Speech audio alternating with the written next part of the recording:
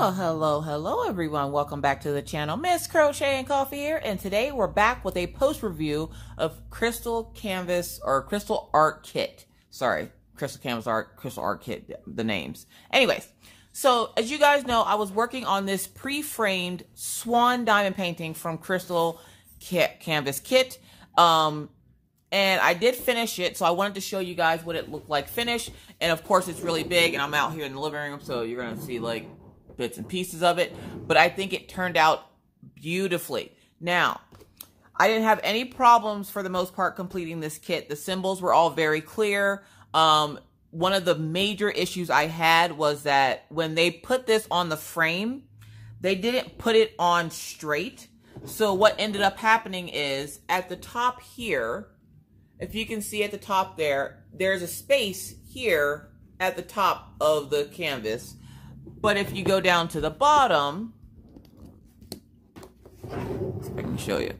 Down at the bottom here, it comes down like over that the little bit of a ledge right there. So the diamonds are kind of hanging off on the sides. And of course, then there's space on this side and there's a lot of space on this side, but there wasn't any space on this side. So they're literally hanging off the edge of the design, um, which made it a little awkward to get those drills to stay on. Now, of course, I could seal this diamond painting, but I'm not going to. I want to see how the diamonds hold up without the sealant on it. Um, I did do some special enhancements. I, of course, had some sparklers by Teemaw that I had put onto the canvas, and I put them right here, as you can see right here, on the wing of the swan, some down here sprinkled in the water, and they're just the sparklers original. So those are the ones that look like rhinestones. So I put those sprinkled down, those down in the water there on the swan's wing and a little bit down here in the water as well. I also did the moon in full rhinestones because as you guys remember, when this lights up, that moon lights up as well. So uh, the major issues that I had with this kit were the fact that the design wasn't put on the frame uh, it wasn't put on the frame straight so that the drills weren't hanging off the edge. Um, and the fact that it didn't come with DMC codes. Now, I didn't run out of any drills, which you can see here. All the drills have something left over. I did panic on a couple of the colors, like uh, the, well, I panicked on the O, but then I realized I had a whole new uh, bag of the O's. But I panicked on a couple of the colors mainly because of the fact that uh, there's no DMC code. So if I were to run out, I wouldn't know what the DMC code would be to complete it. Um, a lot of them got really, really low. But like I say, if you have at least one drill left over, then you are good as gold. That's all that matters to me is that I have enough drills to complete the painting and maybe one or two left over. Other than that, it's fine. Everything else is just extra for storage. The drill quality was really good. I don't believe I had a lot of trash with this kit. Um, let me see if I can get my trash tray here. So this is all the trash I had with this kit. So it wasn't a whole lot, nothing to write home and call the mom about. Um, so I did rather enjoy working on this kit. It was a bit awkward. I'm not going to lie. It was a bit awkward working on this kit because it's not like a regular kit where you can roll it up and work on it. I would have to spin it around and, you know, get it to a point where I could work on it. And in the center and stuff, it was a little awkward to work on. Plus, I work on a smaller workspace. So it was a little awkward to work on. But for the most part, I think it turned out beautifully. Now, when it comes to the light up part, now this, of course, does light up. It is an LED kit. Um, I would have suggested putting the lights in a different color because, or not a different color, I'm sorry, in a different spot. Because like right now they have this here lit up, the wings here up. Hold on, there's a drill that's magically just chilling right there, apparently. I think it came out of the trash tray. Um, there, the wings of the swan are lit up, the waterfall and the moon. Now, I can understand the wings sort of say, but not really, mostly because if the light is coming down from the moon, okay, if the light's coming down from the moon, I would have liked to have seen the water lit up a little bit.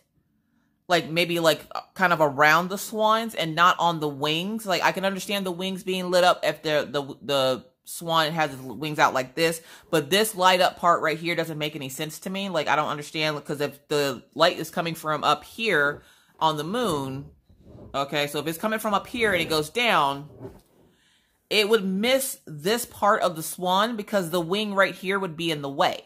So I'm not understanding this part of the light up part of this kit. I would have suggested putting the lights down in the water. The waterfall looks great. This light coming over the horizon looks great. I love the fact that the moon lights up, but that was the only thing, you know, with the light up part of it that I had, you know, reservations about because it looks like the butt of the swan is lit up here and then the wings. And I'm like, that kind of doesn't make sense since, you know, and of course it has a shadowing, but if there, the shadowing, if, if there's no light up here on the swan's head, then how is it making the shadow down here? And same with this one, like it's coming down and this one is okay for the shadowing, but this one isn't. And then it, does, it just doesn't make sense to me. It's just all over the place here. So so that was one of the the big things that I was uh, concerned about was when I put the diamonds on it, how was it going to look with the diamonds on it? It does look perfectly fine, and of course I will have a picture come up so that you guys can see the full thing instead of me going back and forth. Um, the picture did turn out great. I love how it turned out. I loved working on this kit. Um, I would suggest this company. So if you are on the fence about whether or not they have good drill quality, they do. On the fence about, you know, the light up part of it or how it is to work on, it is a little bit awkward because it's pre-framed, so you're if you're used to rolling up kits like I am, it is a little bit awkward to work on. But for the most part, I didn't have a, a whole lot of issues with this kit, so I would recommend this company. So I will have I will of course have them linked down in the description box below. So there is that. And like I said, even when I go to store these, as since there's some left over, there's really I, how am I supposed to store them? So what will end up happening is how do you store drills that don't have DMC codes? There is a DMC code book that you can get. The DMC code book, you can match the colors of the drills that are in this kit to that DMC code and then of course you would take and put those with the corresponding drills. But Usually I don't save drills if they don't have DMC code, but these will be the exception because these were really, really good drills. I had barely any trash with this kit. So I do want to save these. So I'm going to go have to go into the DMC color book and see if I can match these to the proper colors and store them away. I just kind of have them stored away in no specific order in little Ziploc bags. And I just kind of toss them all in a box. So all my rounds are in a box. All my squares are in a box. There's no like organization there. So I am going to have, you know, quite the project on myself here with having this. But if I had one major, one major, you know, thing to tell the company is please, please, please, if you're not going to use DMC code, at least have an inventory sheet.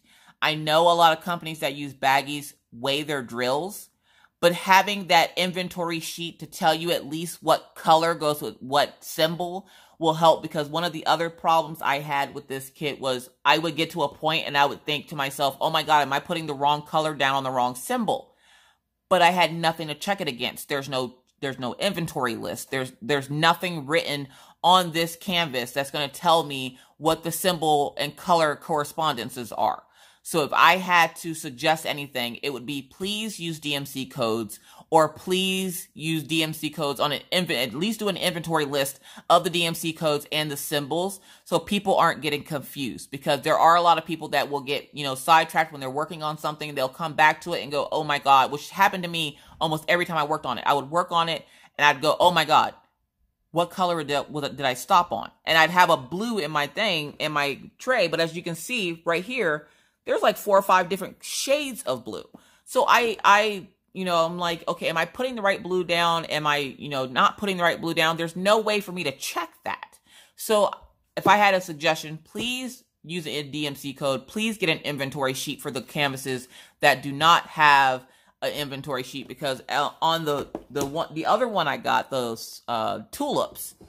If you looked on the back of that kit, it had an inventory sheet, and on the back of this one, it just has the wall mount hanger and then it has the instructions for the LED and then the pocket where you put the the uh, batteries, but there's no true DMC code. There's no true DMC inventory sheet.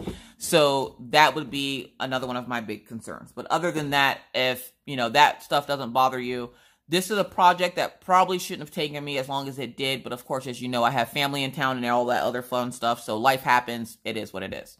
But with that said, they still get two big old thumbs up from Mrs. Coffee. It was a joy working on this. I'm going to make sure to put up a picture of it hanging up and what it looks like lit up. So I hope you guys enjoy. If you have any other questions, comments, or concerns about this company, please put them down in the comment section below and I will make sure to try to answer them as best that I can. But now I must bid you adieu. But not before reminding you that if you're new to the channel and would like to see more random crazy videos just like this, please feel free to hit that subscribe button and the bell to be notified anytime I randomly decide to put up a video. And believe me, it's random. But with that said, I must now really bid you adieu. But not before reminding you to always try to be kind, be courteous, be cool. Bye, guys.